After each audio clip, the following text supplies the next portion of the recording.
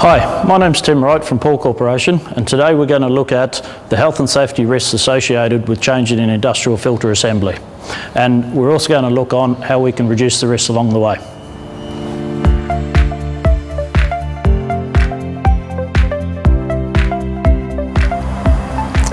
Okay, here we have a common filter assembly that we will see in, in industry. We have the filter head here and we have the bowl pointing downwards. Now this is a high pressure assembly, so we've got to remember this bowl is going to be quite heavy, probably around 15 kilos, and it's going to have a long thread that's quite fine. So the first thing we need to do is we need to read the operations in instructions, um, make sure there's no pressure in it, um, and then we look to remove the bowl. And we've also got to ensure that we've got adequate PPE to protect ourselves. Um, so we also, while we're doing it, we'll look at the health and safety risks along the way. Now, the health and safety executive provides guidance on the, the, the, position and the weight that a person should lift. So we need to look at that and make sure that we comply with the, the guidance. There is a legal obligation for employers to make sure that their staff are looked after when, when performing tasks such as this. Okay, so here we are.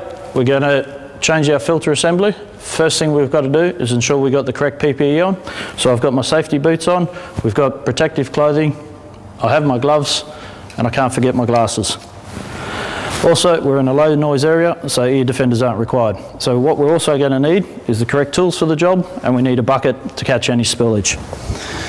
So what we're going to do now is we're going to set the timer and see how long it takes us to change this filter assembly.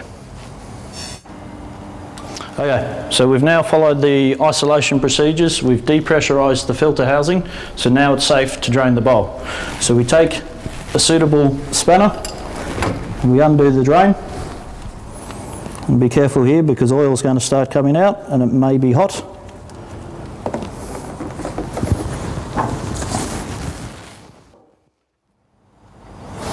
Now that most of the oil's been drained out of the filter housing, we'll put the drain plug back in so we don't get excess oil spilt on us.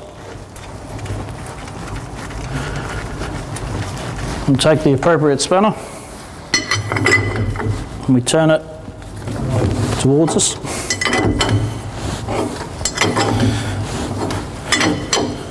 a couple of turns and it should get loose enough so we can use our hands. So as mentioned earlier, these bowls are heavy and because I've got oil on my hands from draining it, the bowl gets quite slippery. So we've just got to be careful here that we don't injure ourselves. So it's nearly ready.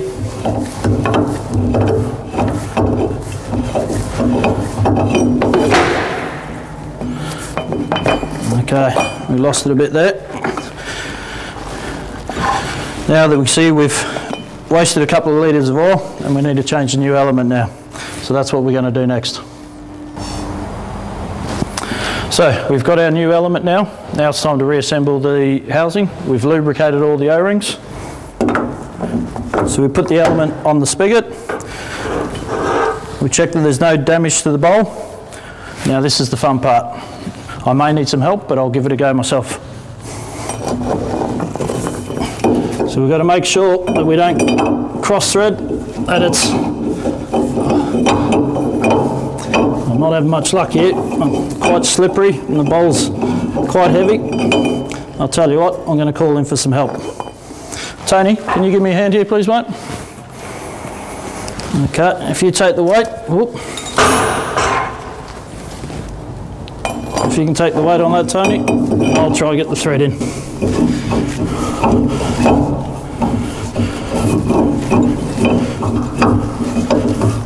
think we nearly got it, Tony. Ah, that's fine. Thanks for your help, Tony. So as we can see there, it took two of us a couple of minutes to get on. The bowl's quite heavy. I've got oil all over my hands, so it makes it quite difficult to put back on. So we're nearly there. And then we get the correct spanner again, and we'll tighten up to the, the required torque setting, which is in the service manual.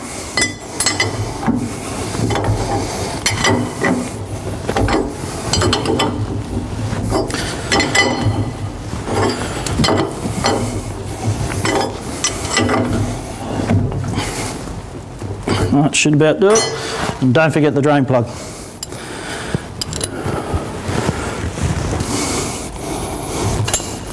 So there we go, we're finished. As you can see, it took two of us to do that, and it was quite a hard job. Let's recap on the health and safety risks associated with changing the filter element. One, we have the weight and the potential for injury. Two, we have the exposure to the operator of the hydraulic oil. Three, we have the environmental impact of disposing of two to three litres of hydraulic oil. So, how do we complete this task quickly and safely and reduce the hazards? The solution is an improved filter design where we can change the filter element without removing the bowl.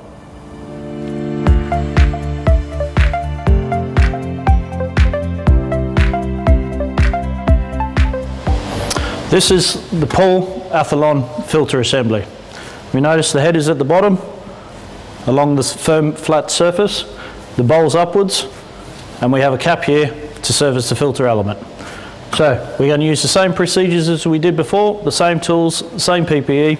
So let's start the timer and we'll change the element. As with the previous filter assembly, we've isolated the system, we depressurised it, now it's time to drain. We take a suitable container, place it under the drain, open it up, but this time we only need to take a small amount of oil out.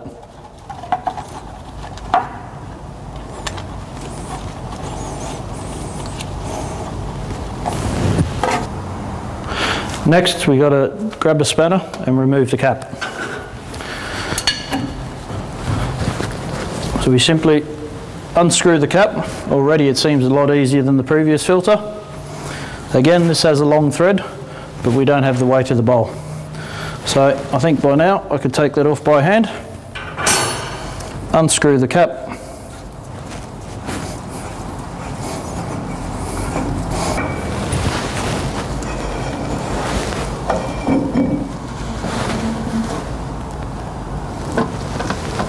we see how the lugs engage. We check the O-rings, we put it down. O-ring first, into the housing, we've lubricated these. And simply back on. A couple of turns with the hand. And then we can use the spatter. You see that was a lot easier than the previous one.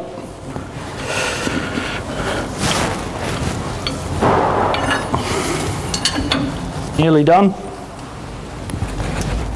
That's it. We're all done. As we saw, that was quick and easy. I didn't require any help from Tony. We had it all done within a couple of minutes. And most importantly, the weight. The cap only weighed a couple of kilos instead of 13 kilos for the other one. No task in any industrial environment is without some risk. But in this case, accounting for all the same actions, Pall Athalon filter assemblies have managed to reduce operator health and safety risk by over 50%. This is good news for employers as it reduces the liability risk, simplifies your maintenance and reduces labour and gets your production back online quicker, all doing so with minimal fluid loss. This product, you also maximise the protection of your system whilst maintaining exceptional fluid cleanliness and extending fluid life. For more information on the Pall range, please visit our website. Thanks for watching.